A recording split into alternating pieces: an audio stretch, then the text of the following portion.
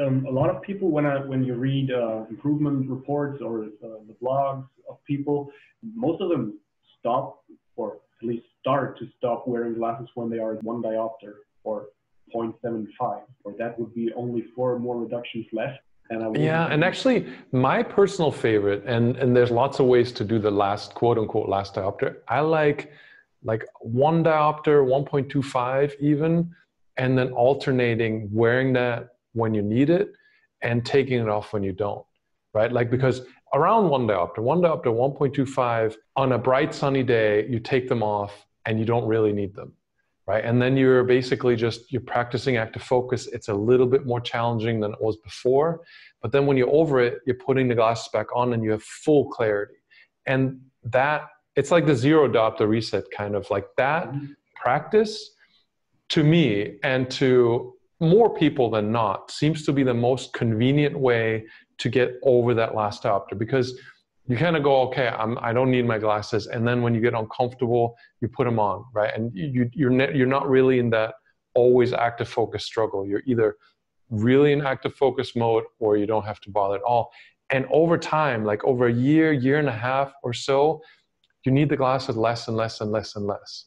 And that also helps with that with not fretting over one day your vision's better one day your vision's worse.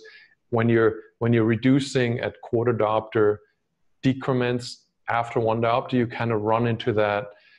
It's a big decrease right? Like the difference between minus one and minus 0.75 is a pretty big decrease. So when you have a bad day or a bad week you really notice it.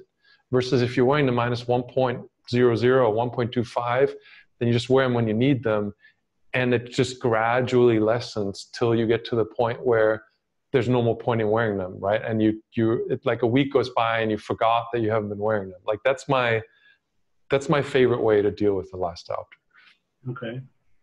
So uh, will you use plus lenses in, in that stage for close-up? I don't. If you're making improvements, like if you're doing that one, what I was just talking about, and over time you're improving, it's much easier and less tricky than using plus lenses. Like the defocus, uh, peripheral defocus with plus lenses is funky. Some people don't get along with plus lenses too well. And if you get enough distance vision time, in most cases, there's no need for plus. The only time I say plus lenses is usually when we're dealing with kids and kids who just function at much closer distances and whose eyes respond more rapidly. But for us, in most cases, you can do it without plus lenses.